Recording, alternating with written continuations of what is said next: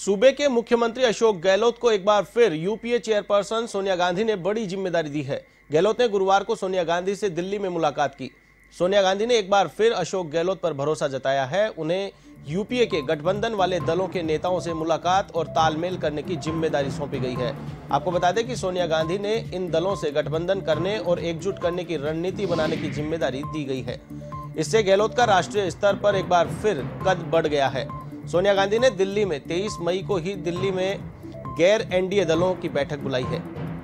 माना जा रहा है कि कांग्रेस पार्टी को लग रहा है कि देश में एनडीए को स्पष्ट बहुमत नहीं मिल रहा है। उसे देखते हुए कांग्रेस पार्टी गैर एनडीए दलों से मिलकर सरकार बनाने की कड़ी में आगे बढ़ रही है। गहलोत के साथ कांग्रेस के चार बड़े नेताओं को भी ये ज़िम्मेदारी सौंपी गई है। कांग्रेस नेता गुलाम नबी आज़ाद, पी चिदम्बरम अहमद पटेल भी गहलोत के साथ यूपीए नेताओं से वार्ता कर दिल्ली में सरकार बनाने का प्रयास करेंगे।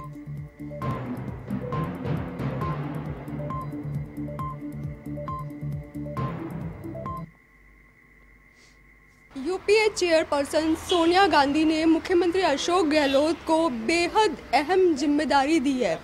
सूत्रों के मुताबिक, जिस तरीके से गठबंधन को एकजुट करने में अशोक गहलोत को महारत हासिल है, एक ओबीसी के बड़े नेता माने जाते हैं, एक बड़ा चेहरा माना जाता है ओबीसी को। यही वजह है कि यूपीए चेयरपर्सन ने अशोक गहलोत को आज अपने आवास पर बुलाया और उनको तमाम जो गठबंधन के जो नेता हैं, उनसे मुलाकात करके एकजुट करने की ज़िम्मेदारी दी है।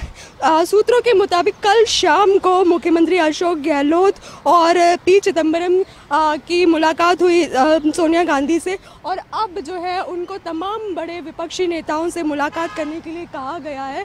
और जिस तरीके से नतीजे आ रहे हैं सातवें चरण यानी अंतिम चरण के नतीजों से पहले उनको ये काम सौंपा गया है और तमाम नेताओं से एक एक करके वो मुलाकात करेंगे। उनको जो है, कांग्रेस के साथ समर्थन हासिल करने के लिए, उनको जो है, यूपीए के खेमे में शामिल करने के लिए, गठबंधन के तमाम नेताओं को एकजुट करने के लिए उनसे मुलाकात होगी, उनसे बातचीत करेंगे।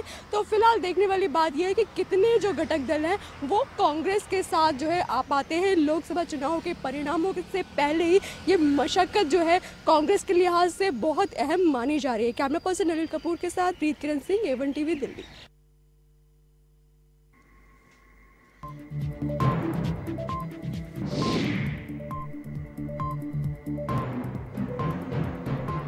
तो बड़ी अहम ज़िम्मेदारी मुख्यमंत्री अशोक गहलोत को दी गई है और इस खबर पर बड़ी जानकारी के लिए हमारे साथ मौजूद हैं राजनीतिक विश्लेषक अनिल लोढ़ा जी। जी सर, बड़ा घटनाक्रम है। मुख्यमंत्री अशोक गहलोत को एक अहम ज़िम्मेदारी दी गई है। क्या कुछ कहेंगे आप? लगता है तकनीकी खामी के चलते संपर्क टूट गया है। फिर से उनसे संपर्क करने का प्रयास करेंगे। तो आपको बता दें कि मुख्यमंत्री अशोक गहलोत को एक अहम ज़िम्मेदारी दी गई है। गैर एनडीए दलों से गठबंधन की जोड़ तोड़ शुरू करने के लिए मुख्यमंत्री अशोक गहलोत को कहा गया है। साथ ही तीन अन्य दिग्गज नेताओं को भी यह ज़िम्मेदारी दी गई है। गुलाम नबी आज़ाद, पी चिदम्बरम के साथ ही मुख्यमंत्री अशोक गहलोत उन तमाम दलों से गठबंधन की गुंजाइश पर चर्चा करेंगे, जिस जो कि एनडीए में शामिल नहीं होंगे। आपको बता दें मुख्यमंत्री अशोक गहलोत को बड़ी ज़िम्मेदारी दी गई है। आज मुख्यमंत्री अशोक गहलोत ने सोनिया गांधी से मुलाकात की दिल्ली में। बड़ी अहम ज़िम्मेदारी मुख्यमंत्री अशोक गहलोत को दी गई है और इस खबर पर अधिक जानकारी के लिए हमारे साथ राजनीतिक विश्लेषक अनिल लोढ़ा जी जुड़ चुके हैं। जी सर क्या कुछ कहेंगे? बड़ी अहम ज़िम्मेदारी मुख्यमंत्री अशोक गहलोत को दी गई है। मुख्यमंत्री अशोक गहलोत दो दिन से दिल्ली में है। जी। और अपेरेंटली तो समझा जाता था कि थाना गाजी जाना है राहुल गांधी जी को उनके साथ जाएँगे वो।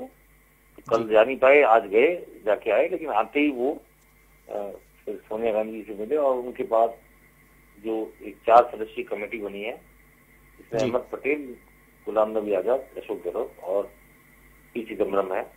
पी चिदम्बरम तो इसलिए कि साउथ की पार्टियों को जोड़ना होगा और साउथ की पार्टियों को जोड़ने के लिहाज से उनको साथ रखा गया है क्योंकि वो जिस भाषा को समझते हैं वहाँ की लोकल पॉलिटिक्स में क्या गणित है क्या समीकरण है इसको समझते हैं।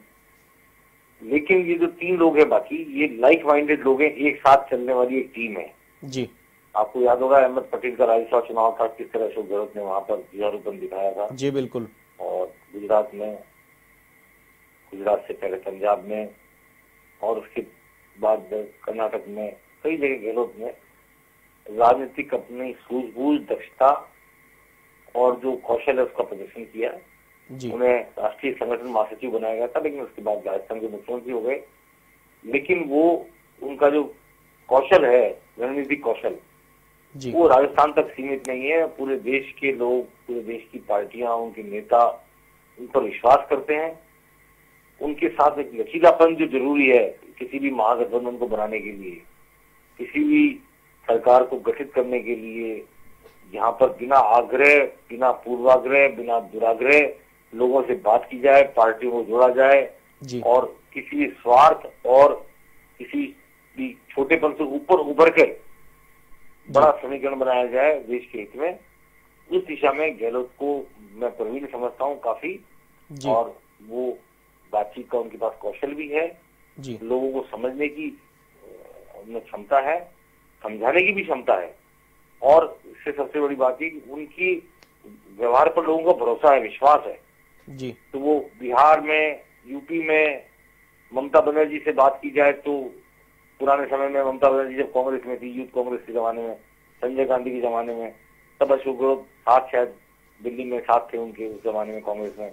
तो वो इन सबको आपसी बातचीत के माध्यम से एक मंच पे लाने में उनको कोई बात समझाने में उनकी बात को समझने में और उसके अकॉर्डिंगली रणनीति बनाने में काफ़ी दक्षता रखते हैं और बाकी दो व्यक्ति जो गुलाम नबी आज़ाद और अहमद पटेल हैं वो भी काफ़ी पुराने कांग्रेसी हैं तो उन सबके साथ मिलकर गहलोत को दायित्व सौंपा गया है।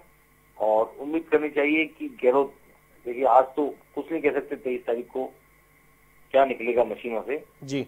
लेकिन जो भी निकलेगा अगर उसमें कोई गुंजाइश हुई जी। यूपीए सरकार बनने की कांग्रेस समर्थित सरकार बनने की कांग्रेस के नेतृत्व सरकार बनने की तो उसमें एकजुट होकर चारों काम करेंगे और ये एक हाई लेवल कमेटी है मेरी दृष्टि में। कांग्रेस में इससे ज़्यादा बड़ी हाई लेवल कमेटी नहीं हो सकती। स्ट्रेटेजिक कमेटी है। जी। और गहलोत को उसमें बनाया गया। ये राजस्थान के लिए मान सम्मान की बात है। और अगर वो परिस्थितियाँ होती हैं ऐसी जी। कि कोई समीकरण बनता है सरकार बनाने का तो ऐसा माना जाना ठीक गहलोत की उसमें प्रमुख भूमिका होगी। और गहलोत बखूबी अपनी भूमिका निभाएँगे और उनका योगदान होगा इस दिशा में आगे बढ़ाने के लिए राजनीति को जी। एक सवाल आपसे करना चाहेंगे, सर। सातवां चरण का मतदान अभी बाकी है और यूपीए ने तैयारी कर दी है, कांग्रेस ने तैयारी कर दी है यूपीए की सरकार बनाने की और इसी क्रम में ज़िम्मेदारी दी गई है। तो ये क्या सामान्य प्रक्रिया है या कहीं न कहीं एक आहट महसूस की है कि जो एनडीए की सरकार है उसका तख्ता पलट होने वाला है? इस आहट को देखते हुए ये तैयारी की गई है। देखिए कोई भी पार्टी राजनीति में चुनाव में उतरती है तो उम्मीद के साथ उतरती है। जी। और मतदान क्या हुआ है कैसा हुआ है कितना हुआ है जो शोर शराबा सतह के ऊपर दिखता है क्या वास्तव में सतह के भीतर भी वही बात है या सतह के भीतर कुछ और बात है? जी। अभी ये सब भविष्य के गर्भ में है। जी। लेकिन ऐसा नहीं हो कि देर हो जाए।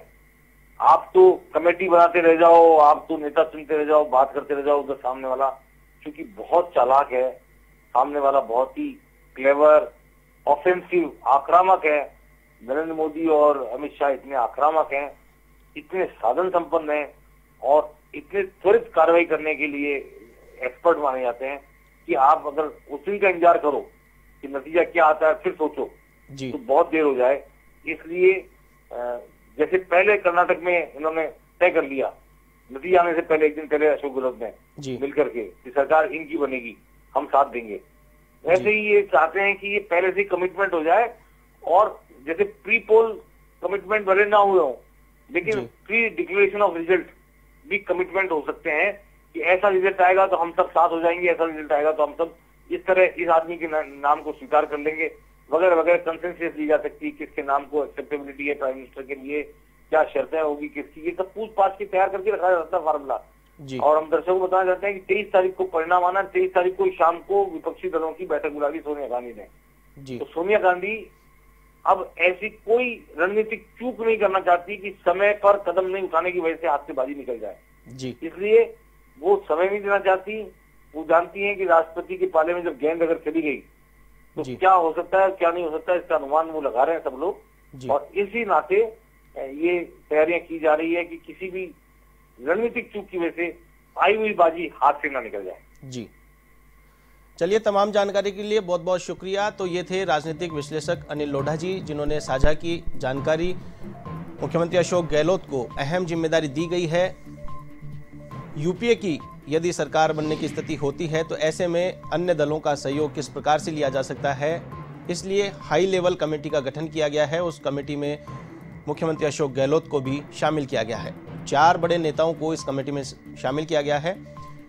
पी चिदम्बरम अहमद पटेल, गुलाम नबी आज़ाद और मुख्यमंत्री अशोक गहलोत।